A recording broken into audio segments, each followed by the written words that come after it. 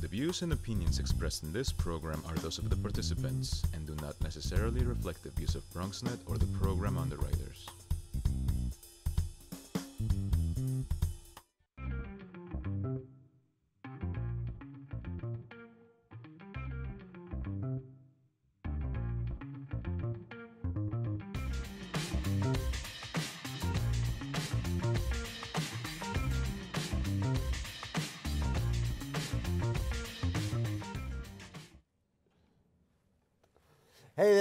Time for the Bronx Buzz, and tonight's program uh, we're going to give you a chance, like we always do, at talking to uh, journalists and finding out what they're all about, what they're thinking about, what they're writing about. Uh, and in the case of our first guest, we're going to be talking about the history of uh, an aspect of journalism in the Bronx. Second segment, we're going to talk to a reporter from El Diario who has some very pointed things to say. But right now, I guess the drum roll we need because uh, the Norwood News is turning 30 years old. Congratulations to editor David Cruz and the lineage of people before you. Absolutely. Uh, what are your thoughts on, at this moment in time, of um, this classic neighborhood newspaper? Well, we definitely did not want 30 years to just pass us by without having to celebrate it, and so we're we're putting together um, a gala on for November 1st at Lehman College from six to nine. Uh, over at the music building, and it's just a way of just celebrating 30 years of what makes the Norwood News a vital paper for Norwood, but also the surrounding areas and also just the entire Bronx as a whole. Uh, so let's see, we count the dates. So it was founded in, I guess that makes it 1987, right? 1988. 1988, of course. My arithmetic already, show, I'm showing my, my problem. Uh, so 1988, and um, give me a sense of what it was then and what it is now. And is there a difference, or is it really that's what we did and that's what we still do? Well, when I spoke with Dart Westphal, who is the founder of the Norwood News, who, who then was the vice president of Montclair Preservation Corporation, he wanted a he, he essentially wanted a newspaper for the neighborhood as a way of just um, shedding light on any issues that were happening within the neighborhood. He had seen other newspapers in other neighborhoods before, and he saw the, how much they worked, and so he decided to sort of expand the mission of Mosholu Preservation Corporation by sort of creating a more informed populace. And so, in terms of the mission, it's essentially stayed the same, bringing information to people who live in that community to help them become better informed about what's happening, and in the hopes of getting them to at least sort of uh, take part or take charge and sort of, you know, I, I think I'm going to use your word, uh, self-determinate. Yes, I, I talk about that all the time and the importance of that. David brought for us this volume, this rather impressive volume. This is the Norwood News volumes 1 to 3, October 1908 to December 1980. And so I, I opened it up and I, I will try and hold it up for you. But here it is, volume number one of the Norwood News. You can see it right there. Uh, the headline story Norwood undergoes mayor sewer, major sewer project. This headline could read today if there was a major sewer. This- Right. oh, in other words, yeah. it would be. In, in it fact, it's happening right now in, in some parts of Norwood right now. um, and and uh, listen, we, you and I were looking through it at some of these things. Um, uh, a, a teen champion, uh, things about um, letters to the editor. I mean, these are all the things that Right. that you do. Um, you are, to my count, the fourth editor of the of the Norwood Fifth. News. The fifth. Can we can we go through the names? Let's see. It was you. So it was, it was Betty Chen. oh, I wasn't aware of Betty Chen. She was, She was the, the first, first editor. Then Okay. Helen Schaub. Then knew. Jordan Moss, Moss. Alex Kratz, and, then and, myself. and you. Um, talk to me about um, the effect or the biggest stories over the years, things that um, that the Norwood News report. I mean, I know some of them, but uh, I'll let you say it. Things the Norwood News reported on that uniquely were for Norwood and for the Norwood News that you got more stuff than maybe they get in the Daily News or somewhere else. Well, there are three that I really think about the most, especially having gone through looking at all the archives. Um, three things was the Croton Water Filtration Plant, Right. That was a huge story from the beginning, from the time. I think it was the first mention of it was in 1990, and we're still talking about it to Yeah, this day. literally, you just came out with a story about the water quality, Right. which is related to that whole project. Correct, and uh, that's- that's one. The second one, of course, is the Kingsbridge Armory. Yes, which we're still talking about today. talking so, in- about in today. answer to the question of what's different, nothing's different. It's the same issues. Well, there was one. There was one issue that I really um, wanted. I, I think it's it's a huge. Wait, wait, uh, I don't want you to abandon the Kingsbridge Armory yet. Okay. Um, what the Norwood News did, and some people may remember didn't Oh, yeah, remember, was they had a clock, Yeah, a countdown countdown clock, clock, yes. uh, that counted, I guess, the number of days till it was determined what was going to be in the armory, or they were going to actually break ground at, at improving the armory. I don't know at what number the countdown stopped, but we still don't have anything in that armory. We, we could just still keep It's counting essentially down. the story that keeps on giving. Yes, Um, I guess so. and then the last one was a, it was a tragic story about an eight-year-old boy who died in a fire.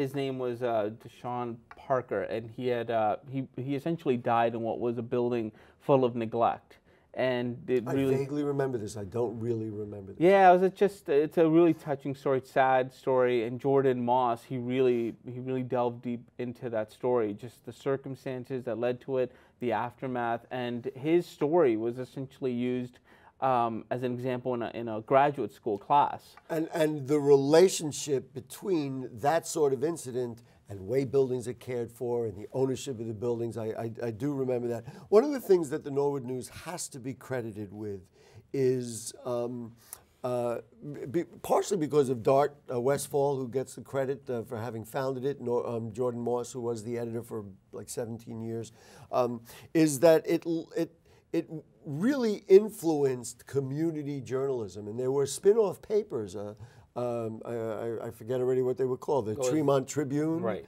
And the Mount Hope Monitor. the Mount Hope Monitor, and I think there was the Highbridge Horizon. maybe Correct. That, that Although all, that those the first two- two that you mentioned, Mount Hope Monitor and Tremont Tribune, they were created by MPC.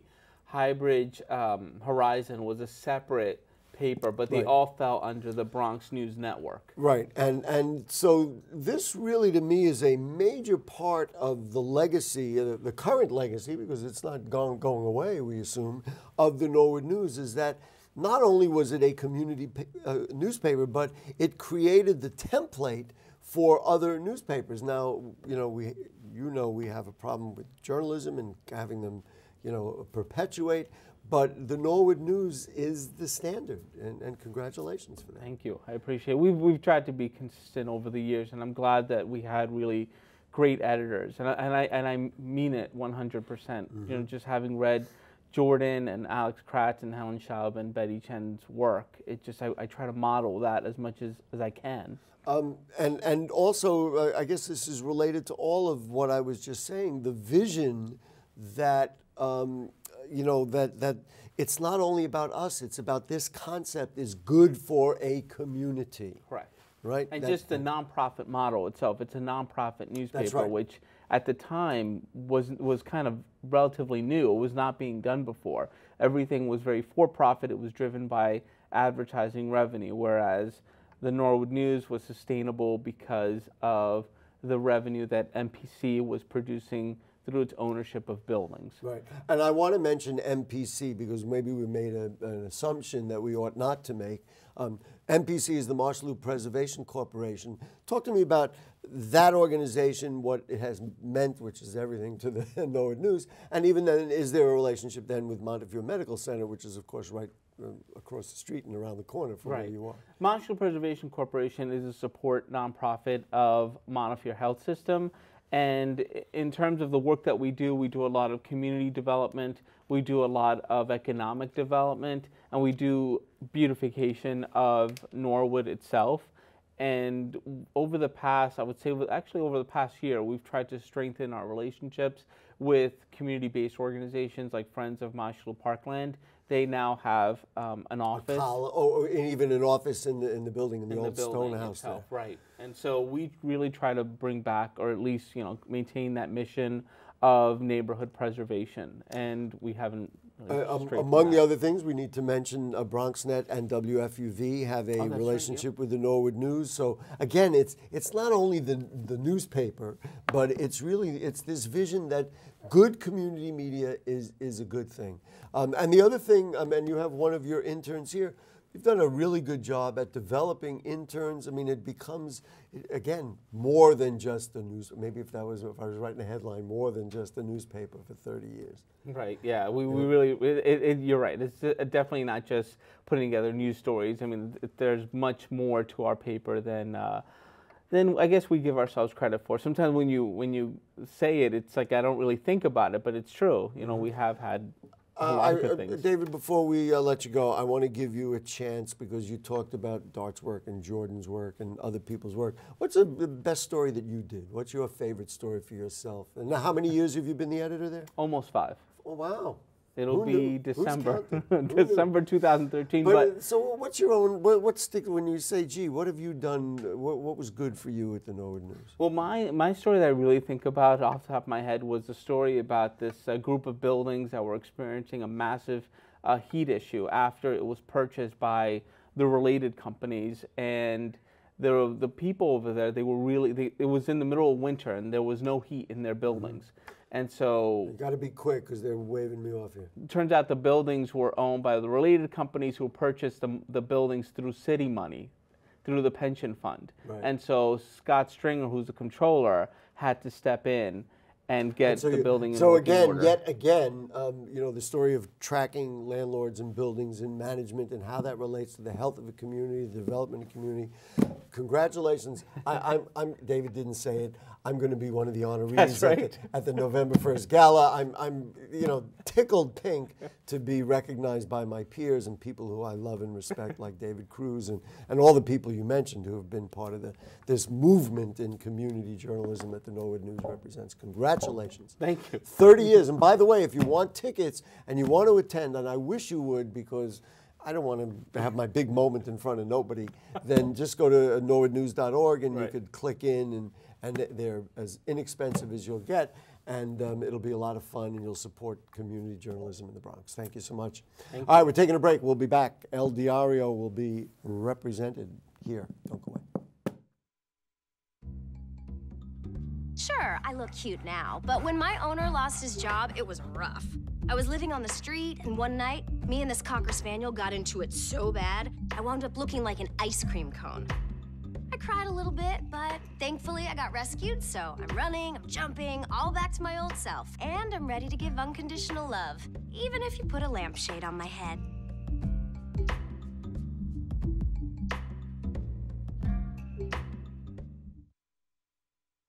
It's not always easy being a dad. Do you have panda asthma too? Does that run in the family? This is the home of the most priceless kung fu artifacts. But when you make an effort, Dad, we're not supposed to touch anything. Oh, sorry. Go along, son. it's always worth it. Whoa, master! The smallest moments can have the biggest impact on a child's life. Take time to be a dad today. I am gonna get you. I'm gonna get you. Call 877 4 DAD 411 or visit fatherhood.gov to learn more. You know what, guys? There's a lot of tree branches and dry brush over here. We should probably move the bonfire over there.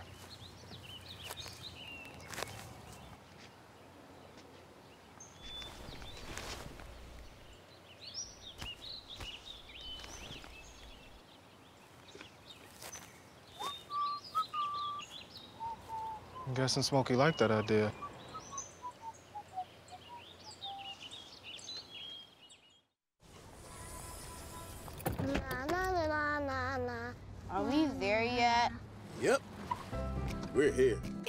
Drive from your neighborhood to your naturehood. To find a neighborhood park or green space near you, visit discovertheforest.com.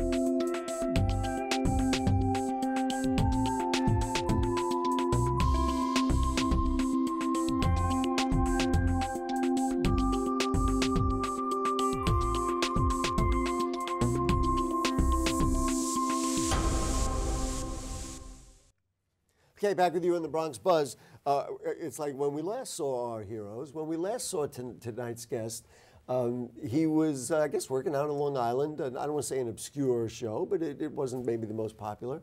And since that time, he's done TV, he's moved on. And I was just telling him, congratulations, he's earned it.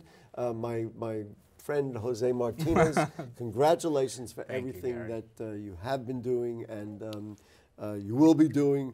Um, talk to me a little bit about um, what you are currently doing. Could we get uh, Jose on the camera there? We don't. There you go. There he is. Um, so um, uh, tell me about uh, what you're doing. You're working for El Diario now, right? Yeah, That is a step up. a lot of things have happened uh, since the last time I came. You wanna- wanna recount real I- quick? There's a lot, you know, but you know, part of it, it's you know the result of being out. I went to Pennsylvania for a month, and I had a, a great experience, kind of like.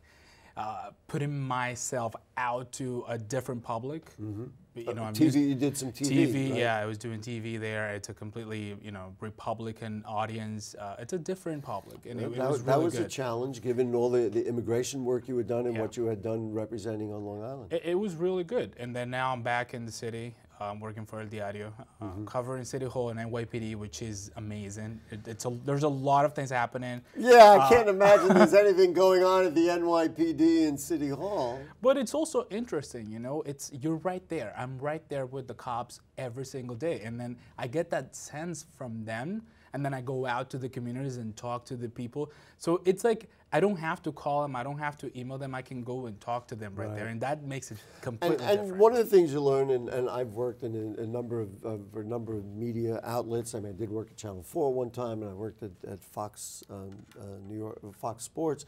And one of the things when you go and and you were the same guy that when you were in Long Island, but now that you are representing El Diario, all of a sudden you're able to command those dialogues a little more. And I know when I used to hold the microphone that had the NBC logo, all of a sudden people would stop and talk to you. Not that they don't for BronxNet, but there is a different sensibility. Yeah, yeah, and it, and I think it's good. I think you, you know you kind of like create the path for yourself, and, and you start building the sources, and, and it's easier to get the information that you're looking for. Uh, you were telling me, and now we're going to break some news right here. You were telling me what you're working on, and, and so what are you working on for El Diario, and what are we going to see? When is it coming out? Tomorrow?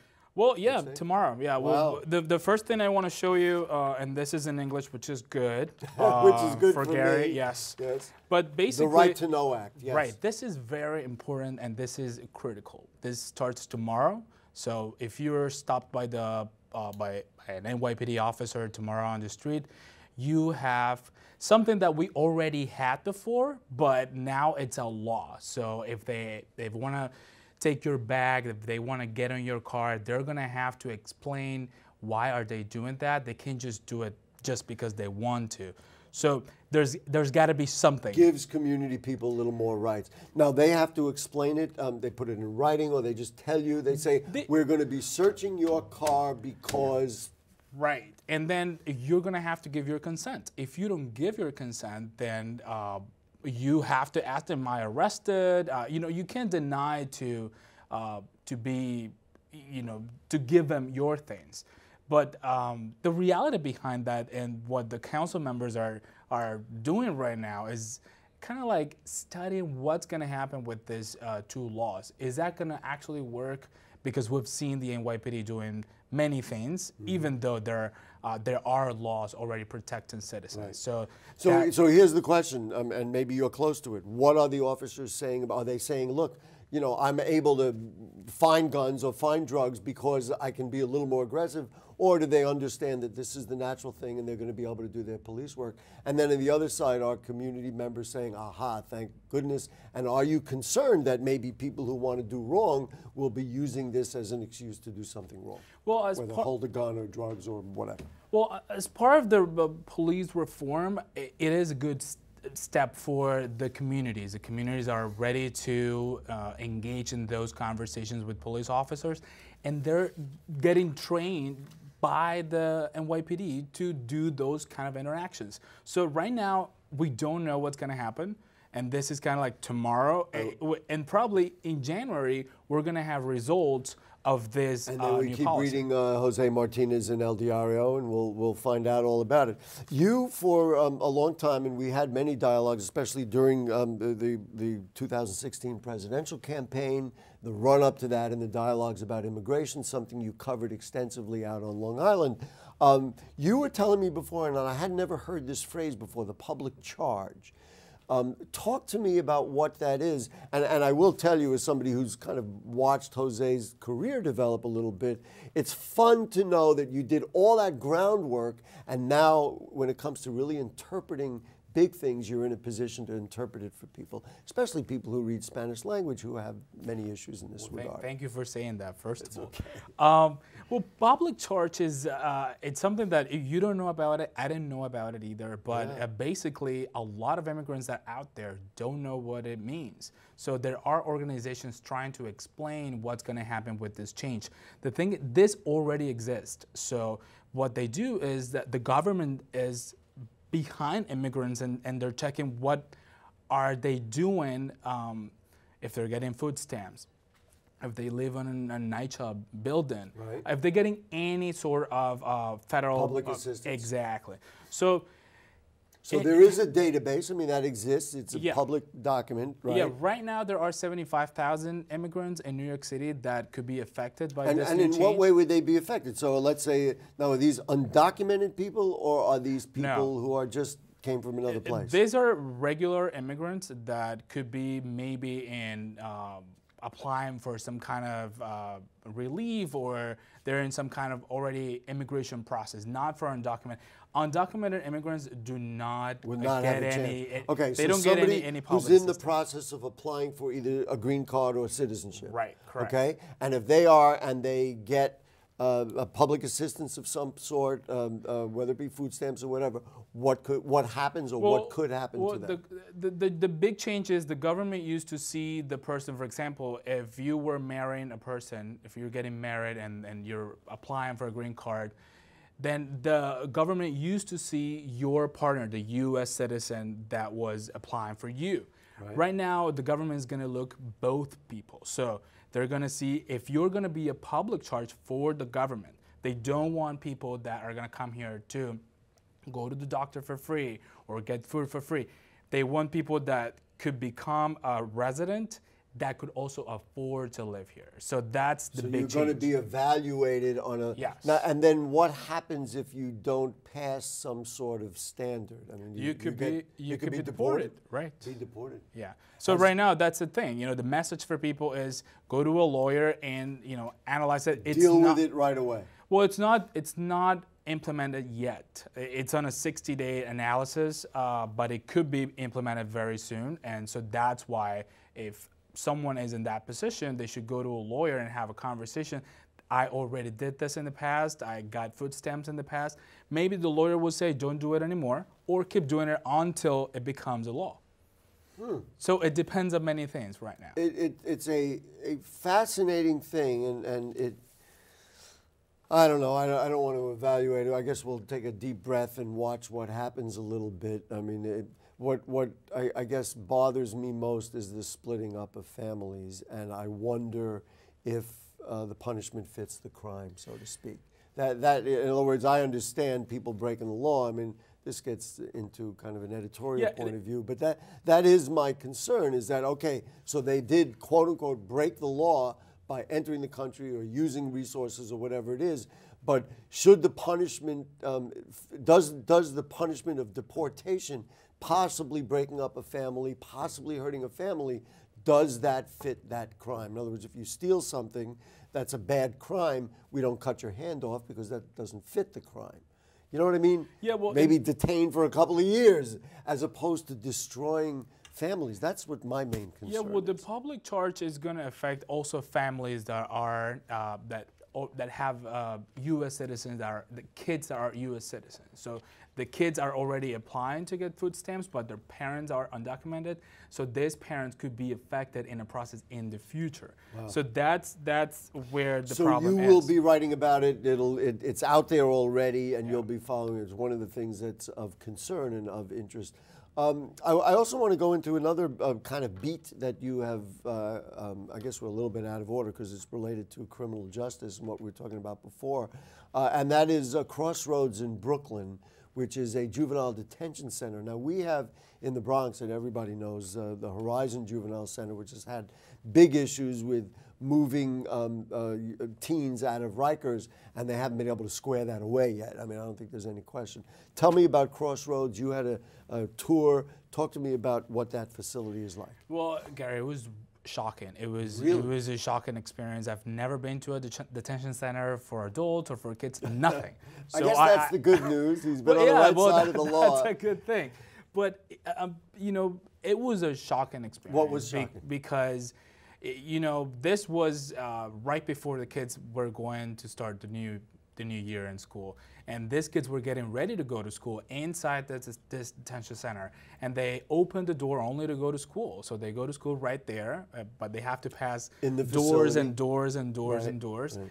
and and it's kind of like that is not the experience that I had when I was 15 or 16 well, of course, old. you were you were not incarcerated. Did you get a sense? Did you see um, any of the inmates, and did you get a sense of their condition or I their attitudes or anything like I that? I had conversations with them. The, you're not allowed to, you know, post any picture or their names or anything. But you know, But he's talking about it on TV, so we like that. yeah, no. In in my report, you can you can see you can read some of this. The, that sense that I had there with these kids, and Mm. I, I personally had a, an experience with my nephew because I have a nephew that he was born here, but he's Latino. He's uh, he Mm-hmm. looks like me. And then I saw this kid at the det- detention center, and, and I felt like, okay, he looks like my nephew. So there are many things happening So- before the kid goes but, to a but let's go back. center. So answer my question. What did, what did they say? What, what is your evaluation Well- of how they were doing? If they go to school, is it meaningful? Are they able to? I mean, we all hope we're rehabilitating them. Did you get a sense that that's happening? That they're cared for? That they eat sufficient yeah, no, the, the, the, the facility is, is beautiful inside. They have everything. There's a school, there is a park, there are there, there's everything for them. And you know, when I went there, they were having, of course, a time to read, and they were reading with the director and all Yeah, that. I'm sure you didn't see the worst. they didn't show you Exactly. the So worst that is that is the other part. But I, I- you know, talking about their the way they live, they live pretty well, and it's it, and, it, and it's comfortable. Uh, what I mean is the behind that, you know, behind those stories, what's happening to these kids to end up in a detention center. So one of them told me he was being bullied at school, so he joined a gang to kind of like defend himself from the guys and who were bullying him. into- And then he got it. Listen, Jose, we could talk about this stuff for a very long time, but right now we're out of time. Uh, and thank you so much. Congratulations on the new Thank work. W- One of the things I'm gratified by because I know that he's going to work hard. He's going to be diligent. He's going to be, you know, kind of kind of do the right thing, and, and that's nice to know that we've expanded the circle uh, in that way. Thank you Thank so you. much. No, thank you for Jose me. Martinez. We're going to have you back. You're going to follow up on all this stuff. all right. So guess what happens now? Now we say uh, good night because that is the end of uh, the Bronx Buzz for this evening. We will be back next week. Uh, with more talk on um, the Bronx Buzz. Also, don't forget uh, Bronx Talk Monday night. We're going to talk about prospects of an animal care shelter in Co-op City. Some people like it, some people don't like it. We'll do that on Bronx Talk Monday night. Good night.